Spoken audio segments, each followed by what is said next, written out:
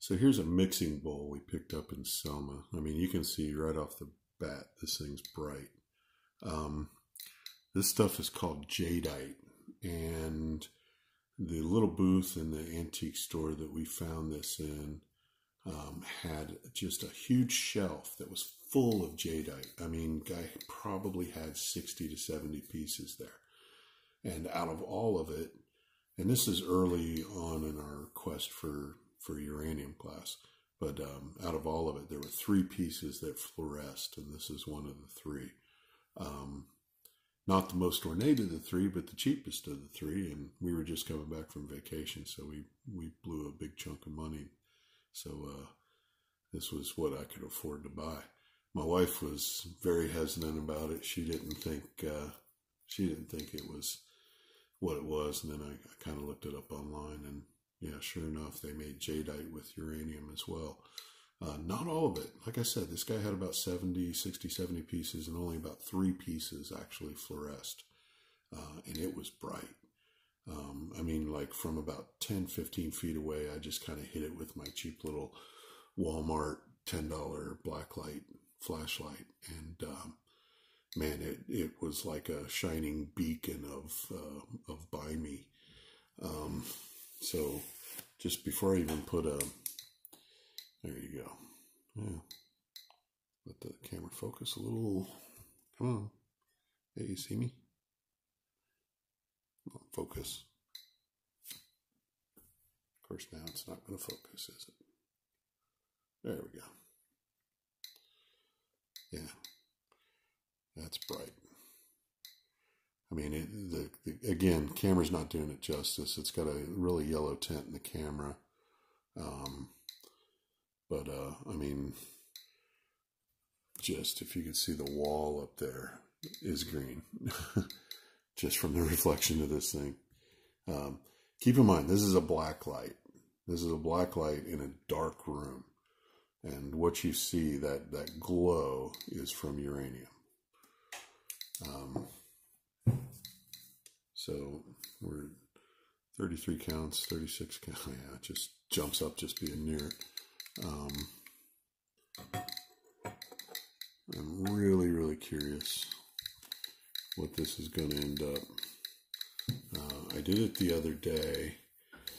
Um, this was the first piece that I tested when I got my Geiger counter. And we put this thing in the bowl, and my wife and I were standing, standing over it, looking down into the bowl, watching it.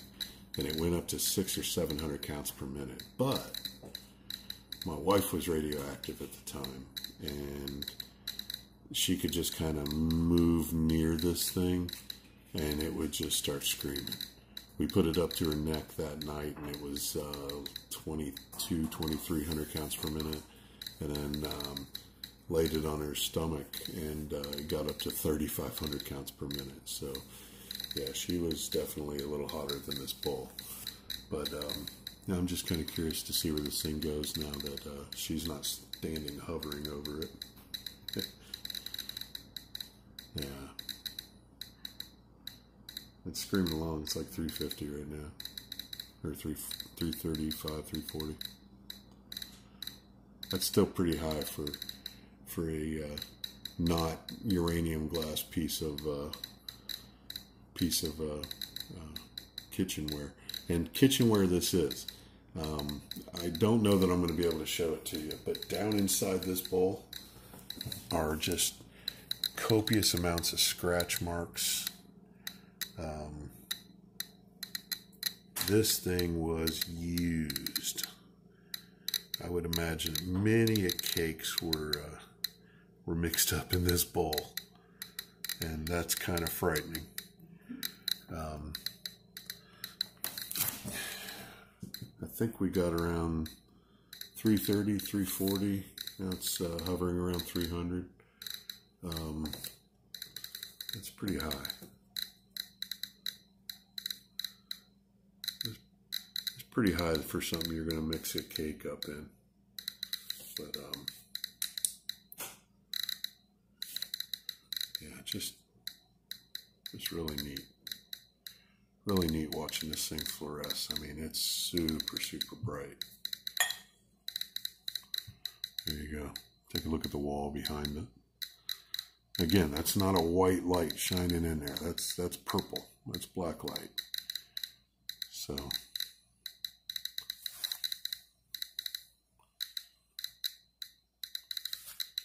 to shine through that thing green and like I said, look at the wall behind it. Um, it's an off-white and yellow wall, so pretty neat. Pretty neat piece. I, I like this a lot.